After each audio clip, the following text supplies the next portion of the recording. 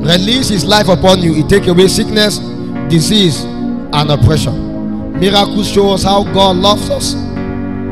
The Bible speaks in the book of Matthew 8 5 that after Jesus entered into Capernaum, as he was there, a man came to him and tell him how his servant lieth at home sick of palsy.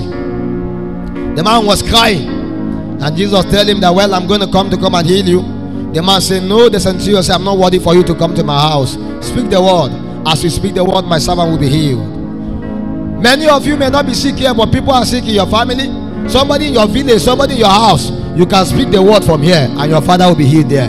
You can speak the word from here, your mother will be healed there. Many of you are streaming online. You may not be here present, but as we speak the word, believe it, your servant will be healed. And at that very moment, I realized it was not the word of Jesus that healed him, it was the faith of the man that still came and met Jesus that healed him. That means if that man had faith while he was at home, his servant will still be healed. You may be shocked.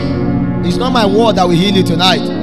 It's the faith that I'm building in your spirit right now. As you wake up, you discover that scale has fallen away. That thing has just gone. That pain has gone. Because now you are empowered. I am empowering the divine nature in you. And I'm empowering that God dimension in you to awake and break from every chain. Speak the word, and my servant will be healed. Jesus Christ did not even speak the word. And yet again, he said, It shall be as you have said. It's the man word that have healed him. At that very moment, he was healed. In the book of Acts, chapter 4, 29, the Bible says, And now, Lord, behold, they are threatening, and grant unto thy servant that with boldness that we may speak thy word, and that you stretch forth thy hands and heal, and that signs and wonders may be done by the name of thy holy Son, Jesus. My last scripture, then we pray. Luke 8 41. You will go there, you will see the story of a man named Jairus. He was a ruler in the synagogue. And he came to Jesus and besought him to come into his house for his daughter that was 12 years old is lying and she's dead. Rulers of synagogue need help from Jesus. We are in the New Testamental culture. Jesus is inside of you and he wants to find expression. When they beckon upon him, my daughter is sick. Oh, come and heal her. When Jesus Christ stepped into the house, you will see what he did. Why Jesus entered into the house? As he was there,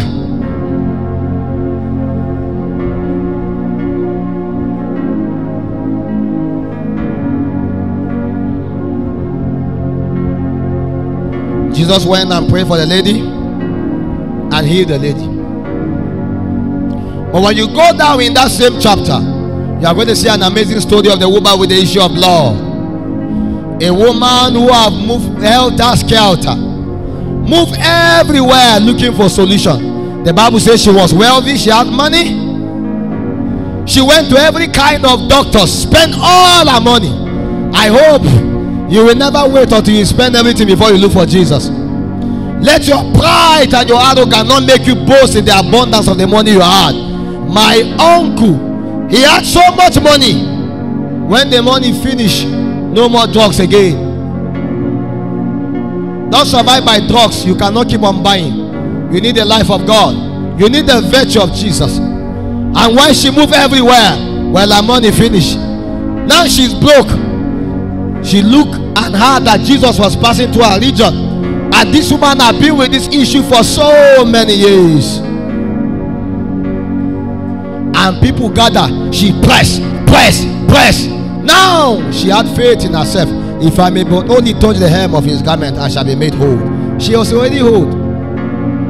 At that very moment, all what she needed was a contact. I want you to propose in your heart now. If I can but only pray, I will be healed. You have to propose something in your heart. She said, If I can only touch the hem of his garment, I shall be made whole. And she pressed, she pressed, she pressed. As she touched the garment, virtue left Jesus. Jesus turned and said, Who touched me? Master, we are so many that are touching you here. He said, No, virtue have left me. Other people are touching me without an expectation. But this woman touched me with an expectation to be healed. You have to put a demand upon the expectation. I don't know the sickness, I don't know the disease, I don't know the pain, I don't know what has baffles you. I have my own problem. I told you I have my requests, there are so many. I am putting an expectation that if I can only pray this request, you will see them manifest again and again and again. Faith may look like stupidity until it produces result. You can question one plus one, you can't question two. Two is the answer. You can question my prayer now, you can't question the result. The result are too evident, you can't deny. As she pressed, as she touched, virtue left Jesus. And immediately when the virtue left Jesus, she was healed. It doesn't matter how long the sickness has been. No miracle in scripture is common. A man was at the pool called Bethesda for 30 something years. I don't know how old you are. For 30 something years, that man was coming every day. What kind of faith is that? That woman was suffering with the issue of blood for so many years. Yet again, she believed one day she will be healed. I know your situation has stayed for so long. I know they have told it has been for so long. Online, outside, draw close to that your daughter, draw close to that your mother, draw close to that your father. Put your hand upon them and say, If I can but only touch them now and pray, they will be made healed. Jesus said, Virtue have left me. Who touched me? Rise up on your feet at this moment. Let's touch Jesus. Let's touch Jesus. Let's touch him.